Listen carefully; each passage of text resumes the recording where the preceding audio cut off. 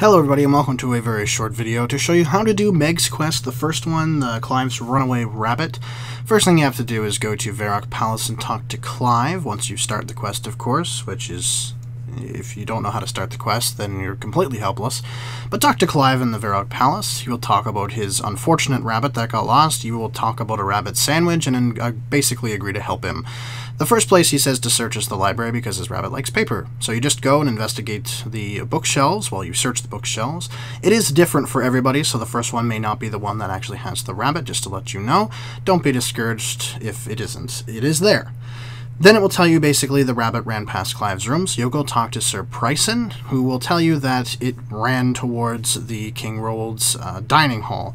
You go to his dining hall, investigate one of the tables, which will then tell you that the rabbit ran through here, and you would then go into the kitchen, investigate the larder, and the rabbit will be there.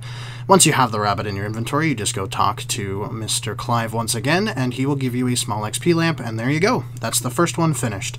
Thank you much for watching, and we'll try to get one of these out for each and every one of them as the days go on, so if you are interested in knowing how to do all of these, then for sure stay tuned, and we can complete them together. Have a good one. Peace.